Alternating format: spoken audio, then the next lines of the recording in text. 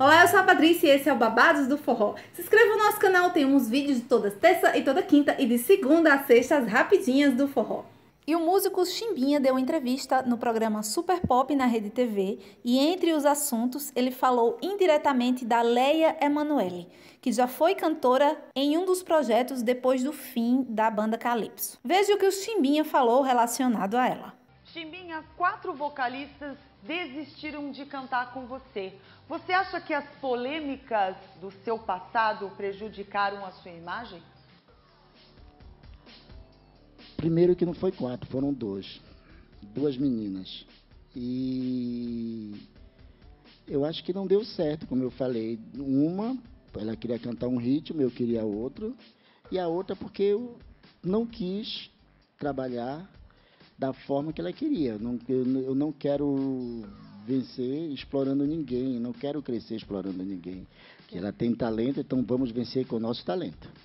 E a outra porque eu não quis trabalhar da forma que ela queria. Não, eu, eu não quero vencer explorando ninguém, não quero crescer explorando ninguém.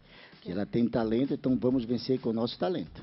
E nas redes sociais, a Leia respondeu ao Chimbinha. Entendam como quiser as entrelinhas, mas na minha casa eu posso dormir no meu quarto com a porta destrancada, sem estar preocupada se alguém vai chegar com desculpa esfarrapada, chorando por conta da família, ou então dizer que está passando mal para tentar me apalpar.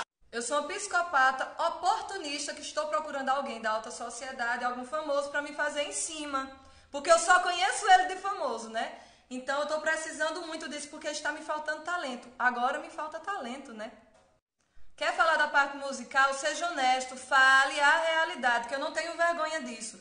Quantas pessoas não entram num projeto que não consegue se identificar e termina tendo que sair? Quantas vezes eu não te chamei Mas sabe qual é o problema? É que ninguém poderia sair daquele projeto deixando no ar que ele estivesse errado, ou então que talvez ele tivesse feito uma escolha errada porque a pessoa não pode ter humildade para isso, né? Mas aí no caso tem que sair o quê? Queimando a outra pessoa.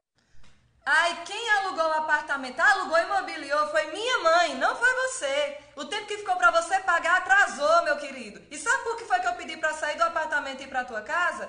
Por falta de pagamento. Tu lembra? E para isso eu tenho testemunhas, pessoas maravilhosas que foram testemunhas de toda a situação. Mas é isso, né? Meu querido, quando eu quiser aparecer, eu vou aparecer assim, mostrando a cara, porque eu não tenho por que esconder nada de ninguém. Eu não sou sonsa, não, viu? Tô aqui na luta, nem lembro que esse senhor existe, suando para trabalhar. Todo mundo aqui me acompanha, vê minha luta e as pessoas mais próximas sabem mais, sabem muito mais da situação que eu passo. Faço barzinho, vou em loja, faço tudo para tudo dinheiro honesto, honesto de trabalho, de muito suor. Eu não preciso de dinheiro falar da minha pessoa. É de um vestido que eu comprei com meu dinheiro e que eu não estava usando calcinha por baixo desse vestido. Eu quero saber até onde diz respeito o que eu uso por baixo ou não da minha roupa a ele. Vai em rede nacional denegrir a imagem de uma pessoa, o caráter de uma pessoa, pôr em dúvida o caráter de uma pessoa por conta de uma roupa. Que isso no ato da apresentação ninguém nem questionou essa roupa, ninguém nem viu. Apenas ele. Eu quero saber o que é que tem.